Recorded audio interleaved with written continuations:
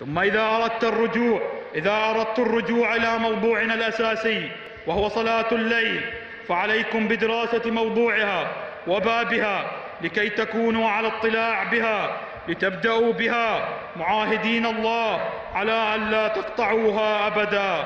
مع العلم أنه يمكن قضاؤها وسنعتبر أن صلاة الليل شعار ما يسمى أو ما يسمون بالتيار الصدري.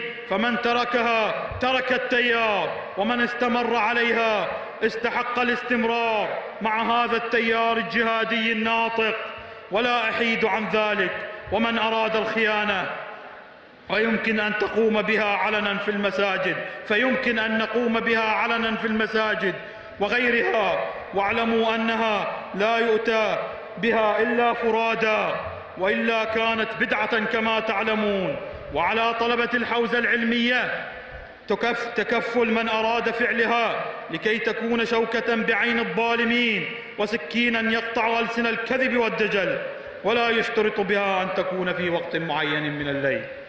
فأما أن تكون وكبداية بعد صلاة العشاء مثلا أو قبل صلاة الفجر لكي نحصل ونداوم على الواجبة أيضا. أقصد صلاة الصبح مع الليل.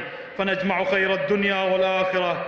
واعلم أن العدو سوف لن يسكت لكن الموت في سبيل إحياء هذه الشعيرة هي الشهادة بعينها.